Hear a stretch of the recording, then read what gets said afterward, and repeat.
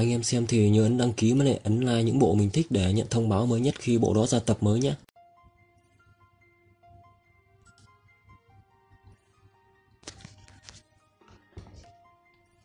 Người làm ta ngạc nhiên đấy, không ngờ người cũng đang tu luyện công pháp ngoại môn. Lúc nãy suýt nữa bị ngươi chém làm đôi rồi.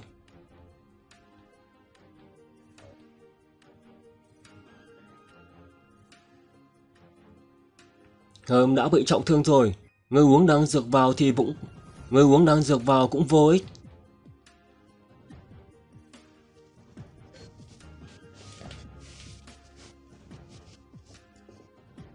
người bảo ta trình báo chuyện của lệnh tuyết vào, vào giờ tí ờ, ta cần một lý do.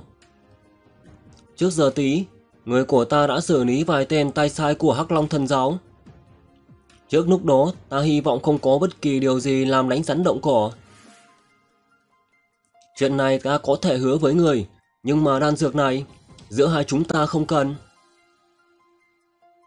Lý dịch sư huynh, đan dược này có thể tạm thời ức chế song tu công pháp trong cơ thể của ngươi. Từ đó, giúp ngươi thoát thai, thoát khỏi xiềng xích ràng buộc, giải phóng năng lượng vượt xa năng lượng trước giờ của ngươi. Ngươi nhất định là phải nhận lấy. Thanh hồn tán phẩm cấp Hiệu dược 150 Quá lâu tam điểm hóa Dùng để thanh lọc dưỡng hồn, rèn luyện tâm tính Cần lưu ý khi sử dụng bắt buộc là tâm vô tạp liệm Nếu không sẽ khiến cho kinh mạch nghịch chuyển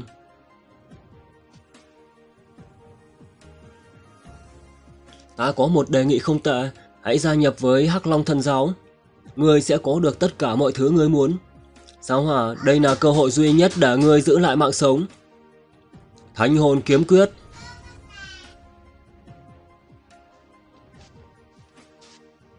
Ổ linh lực này sao có thể?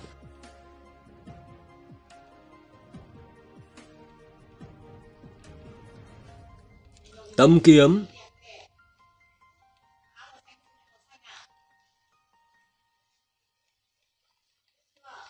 Cái gì?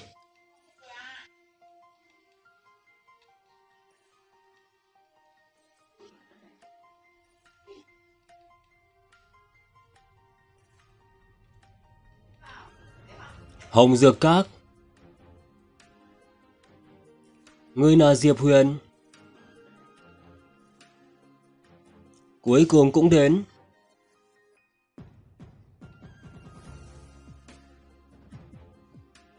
Ta là Trương Húc Bá của Hắc Long Thần Giáo. Ta đại diện cho thần giáo đến thương lượng đại sự với huyết thi tông. Ta nghĩ quý tông cực kỳ có hứng thú với bảo vật bí mật bên dưới của vạn cổ ma bích. Thần giáo ta có thể nhường một nửa bảo vật bí mật cho quý tông. Ý của ngươi thế nào? Hừm, bố trí của thần giáo các ngươi đã bị chúng ta ăn gần như là cạn kiệt. Một nửa ừ, Bây giờ các ngươi vẫn còn tư cách đưa ra những điều kiện nực cười như vậy hay sao? Đáng ghét, nếu không phải là vì tình thế cấp bách. Ta thật sự muốn xé xác của hắn thành trăm mảnh ngay lập tức. Một món bảo vật, thật ra chúng tôi chỉ cần một món bảo vật bí mật ở trong đó. Đây là tất cả tấm lòng của chúng tôi. Ngươi đừng quên nếu ngươi thật sự trở mặt với thần giáo, với thực lực bây giờ của quý tông, e rằng cũng chưa chịu nổi. Trương Xu Huỳnh, nếu ta nói ta cần món bảo vật bí mật đó thì sao? Người, người. Diệp Thiên Minh. Chẳng phải ngươi đã chết ở một cảnh Thanh Vân Tông rồi sao? Món đồ trong mật cảnh đâu? À, ngươi nói món đồ này à? Trang bị của Hắc Long.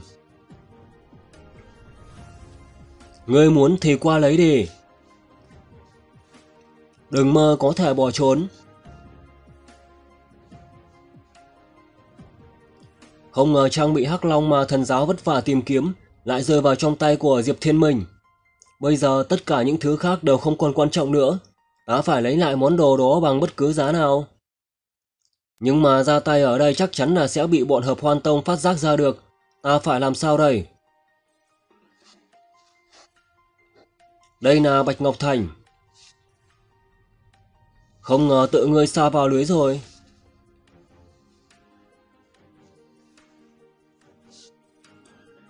Diệp Thiên Minh, ngoan ngoãn giao trang bị Hắc Long ra đây. May ra thánh nữ đại nhân thiện sẽ tha cho ngươi một mạng.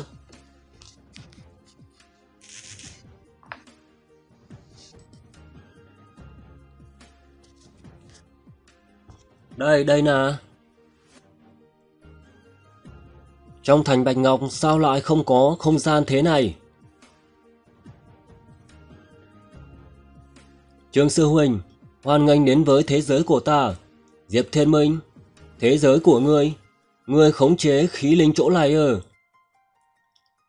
Không, không thể nào, đây tuyệt đối là không thể nào. Nếu Trương Sư Huynh không tin, vậy để Sư Huynh cảm nhận một chút.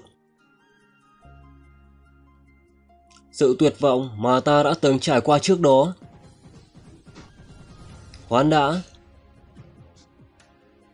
Thanh ảnh chảm. Đáng ghét.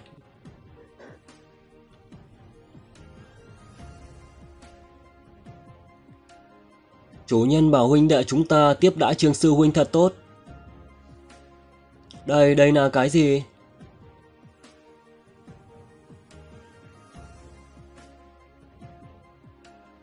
Chủ nhân Lâu vậy rồi chủ nhân không đến thăm Bạch Ngọc Ta còn tưởng chủ nhân không cần tiểu nữ này nữa. Lẽ nào đây là chỗ đặt vào đây ở trong truyền thuyết? Trái tim của tiểu nữ đã bị đùa giỡn đến không chịu được. Chủ nhân thật là hư quá. Nhà đầu này không biết học từ đâu mấy thứ kỳ quái này. Yên tâm đi Bạch Ngọc.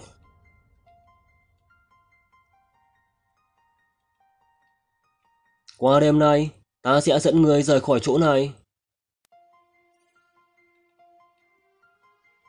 Đã chạy xuống 50 tầng rồi mà vẫn chưa tìm ra lối thoát. Nếu khí ninh thật sự nằm trong tay của Diệp Thiên Minh, vậy rốt cuộc hắn đã lấy được từ lúc nào? Chẳng lẽ là lúc đó? Húc Bách, phân hồn của thánh nữ đại nhân tiêu tán ở trong Bạch Ngọc Thành.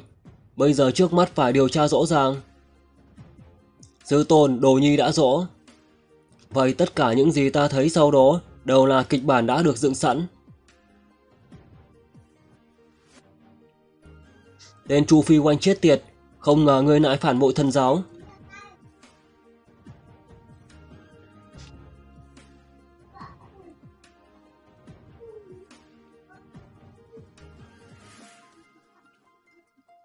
Còn đám đầu lâu vướng víu này chắc có liên quan đến trang bị hắc long đó.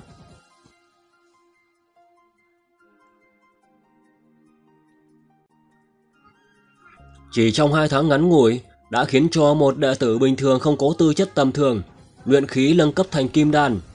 Trang bị hắc long không hổ là bảo vật thế gian.